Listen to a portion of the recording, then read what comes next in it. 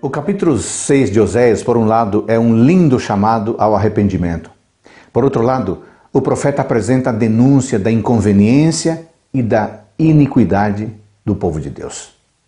Há dois versículos que certamente estão entre os mais lindos da Bíblia e contêm profundas verdades. Um deles é o versículo 3, que diz assim: Conheçamos e prossigamos em conhecer ao Senhor. Oséias não está falando do conhecimento teórico, embora a teoria seja importante. Aqui, o profeta está falando de um tipo específico de conhecimento, o conhecimento que salva. E só há um conhecimento que salva: é conhecer ao Senhor, seu caráter, suas providências.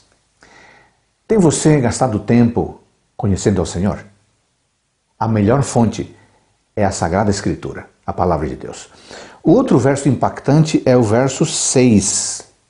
Pois misericórdia quero e não sacrifício, e conhecimento de Deus mais do que holocaustos.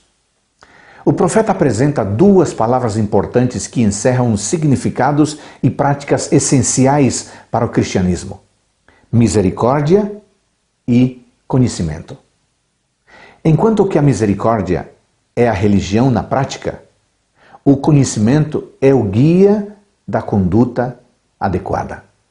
Sem estes dois elementos básicos, a religião tende a ser mera forma vazia e pode cair em puro formalismo, algo que não agrada ao nosso Deus.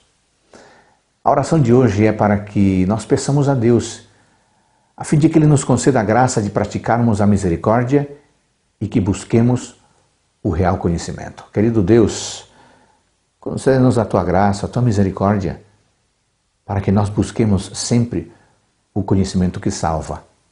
Em nome de Jesus. Amém.